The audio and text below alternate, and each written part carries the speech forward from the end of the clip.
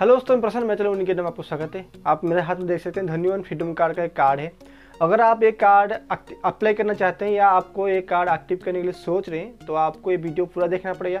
आपको समझना पड़ेगा, जानना पड़ेगा कि धरनी वन फ्रीडम कार्ड में आपको क्या बेनिफिट मिलने वाला है, क्या चार्जेस है। जो सारे वीडियो में या काफ़ी सारा वीडियो अभी अपलोड हो रहा है कि धनी वन फ्रीडम कार्ड फ्रॉड कर रहे हैं तो अगर आपके साथ फ्रॉड हो सकता है नहीं हो सकता इसके बारे में हम इस वीडियो में बात करेंगे। आप वीडियो को पूरा देखिए आखिर तक फिर आपको समझ आएगा, अगर आप धनी वन फ्रीडम कार्ड लेना चाहते हैं या धनी वन फ्रीडम कार्ड के बारे में जानना चाहते हैं तो अगर आप मेरे चैनल में नए हैं तो प्लीज़ मेरे वीडियो को लाइक करिए, मेरे चैनल सब्सक्राइब करिए नोटिफिकेशन बेल को क्लिक करिए, क्योंकि जब भी मैं नेक्स्ट वीडियो अपलोड करूँ उसका नोटिफिकेशन आवाज़ है और आप वो वीडियो को पहले देख सके। अगर आपको धन के बारे में और भी कुछ जानकारी चाहिए तो जाइए मेरे वीडियो को डिस्क्रिप्शन में। वहाँ पर धन्यवाद फ्रीडम धन्यवाद प्ले लिस्ट करके लिंक है। उस लिंक को ओपन करके आप धन के बारे में बहुत कुछ जान सकते हैं। जैसे धन में कैसे अकाउंट क्रिएट करना है, कैसे केवाईसी करना है, कैसे ई में पेमेंट करना है, कैसे क्रेडिट लाइन एक्टिव करना है कैसे क्रेडिट लाइन को यूज़ करना है, सारे रिलेटेड वीडियो मेरे चैनल में पहले से अपलोड है।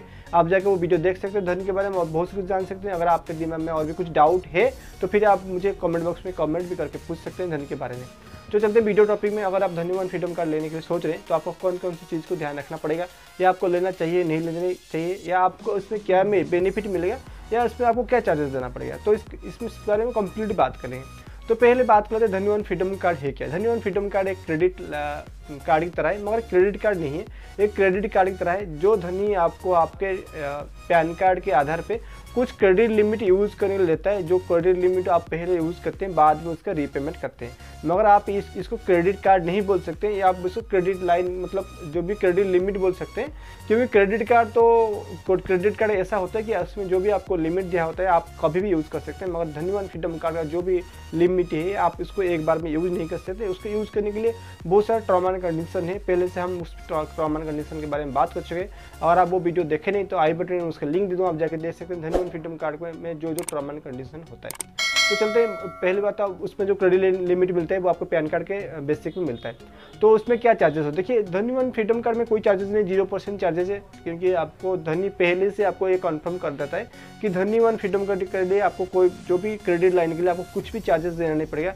ज़ीरो परसेंट चार्जेस है। उसका कोई भी आपको क्रेडिट कार्ड जो भी क्रेडिट आप यूज़ करते हैं उसे कोई भी इंटरेस्ट नहीं है, ज़ीरो परसेंट इंटरेस्ट में आपको वो यूज़ करना देते हैं। मगर जब भी आप धन्यवाद फ्रीडम कार्ड एक्टिव करते हैं तो वहाँ पर कुछ सब्सक्रिप्शन चार्ज होता है। वो जब सब्सक्रिप्शन चार्ज मंथली होता है और वो सब्सक्रिप्शन चार्ज आपको डिपेंड करता है आपका क्रेडिट लिमिट के ऊपर। आपको कितना क्रेडिट लिमिट मिला है उस बेसिक में आपको सब्सक्रिप्शन चार्ज देना पड़ता है पर मंथ ये होता है ढाई सौ लेकर पाँच सौ या हज़ार तक हो सकते हैं। अगर आपके क्रेडिट लिमिट जितना होता है तो उस उसके हिसाब से आपका सब्सक्रिप्शन चार्ज होता है। तो वहाँ पर एक सब्सक्रिप्शन चार्ज हो गया मंथली बेसिक में। आप आप चाहे धन आप कितना भी जो भी आपको धन्यवाद फ्रीडम कार्ड की तरफ़ से जो भी क्रेडिट लाइन मिल, मिला हुआ है आप उसको यूज़ करें या ना करें फिर भी आपको सब्सक्रिप्शन चार्ज पर मंथ देना है। तो ये हो गया एक चार्जेस दूसरे चार्जेस है उसका जो कभी भी आप धन्यवाद फ्रीडम कार्ड को कैंसिल करने के लिए सोच रहे हैं तो इतना आसानी से आप कैंसिल नहीं कर सकते।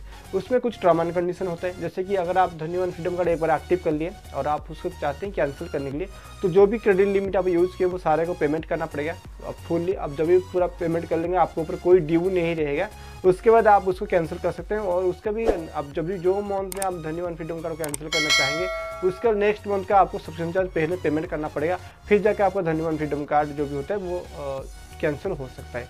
जब भी आप आप सोच लीजिए, कोई भी धन्यवाद फ्रीडम कार्ड में कोई भी यूज़ करते हैं आप कार्ड को, कहीं भी कहीं भी स्पेंड करते हैं, कुछ भी अमाउंट को तो उसका ई में पेमेंट करना बहुत ज़्यादा प्रॉब्लम होता है। क्योंकि उसका जब भी आप इस अमाउंट में काफ़ी सारा अमाउंट यूज़ किए तो तीन ई मेल होते तो नेक्स्ट मंथ आपको ई मेल देना पड़ता है। मगर धन्यवाद कार्ड में ऐसा कुछ नहीं है। धनी आपको आपसे जो भी ई मेल पेमेंट लेते हैं, वो नेक्स्ट डे ही लेते हैं। मगर इसका मतलब ये है कि अगर आप आज नौ सौ रुपये आप यूज़ किए तो उसका थ्री ई में बन जाएगा तीन सौ तीन सौ तीन सौ करके। और जब भी आप आज यूज़ किए नौ सौ रुपये तो कल आपके बैंक अकाउंट से तीन सौ रुपये कट जाएगा। तो यहाँ पर होता है प्रॉब्लम क्योंकि काफ़ी सारा बंदे या काफ़ी सारा फ्रेंड यही सोचते हैं कि जो भी आपको क्रेडिट लिमिट मिला है वो क्रेडिट लिमिट अब हम इस महीने जो भी यूज़ करें तो नेक्स्ट मंथ में आपका ई में फ़र्स्ट ई में कटेगा।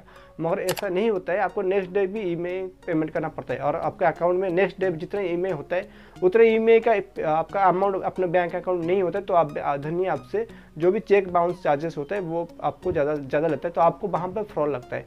अगर आप धन्यवान फ्रीडम कार्ड को लेना सोच रहे हैं, या आप धन्यवान फ्रीडम कार्ड का एक्टिव करना चाहते हैं तो बेशक करिए, मगर उसका यूज़ सही तरीके से जान के ही करिए। अगर आपको पता नहीं है अगर आप एक धन्यवान फ्रीडम कार्ड ले चुके हैं और आप उसका ई ठीक से पेमेंट नहीं किए हैं, अभी अभी तो आपका ड्यू पड़ा है तो आपके साथ क्या हो हो सकता है या क्या होने वाला है, इस रिलेटेड हम नेक्स्ट वीडियो में बात करें वो भी आपको लाइव प्रूफ के साथ, कुछ बंदे के साथ ऐसा हुआ है, वो बंदे का कुछ प्रूफ देके मैं नेक्स्ट वीडियो में बताऊँगा कि अगर आप धन्यवान फ्रीडम कार्ड का जो भी क्रेडिट लिमिट होता है, वो आप रीपेमेंट नहीं करेंगे तो आपके साथ क्या हो सकता है? मुझे उम्मीद है कि आपको यहाँ तक समझ आ गया होगा कि धन्यवान फ्रीडम कार्ड को आपको कैसे एक्टिव करना है, कैसे एक्टिव नहीं करना है और एक्टिव करना है तो आपको क्या क्या चीज़ का ध्यान रखना पड़ेगा। अगर आपको मेरा वीडियो अच्छा लगा तो प्लीज़ मेरे वीडियो को लाइक करिए, मेरे चैनल को सब्सक्राइब करिए और नोटिफिकेशन बेल को क्लिक करिए क्योंकि जब भी मैं नेक्स्ट वीडियो अपलोड करूँ, उसका नोटिफिकेशन हो जाए और आप वो वीडियो को पहले देख सकें। मिलते हैं नेक्स्ट वीडियो में और कुछ नया बात और कुछ नया जानकारी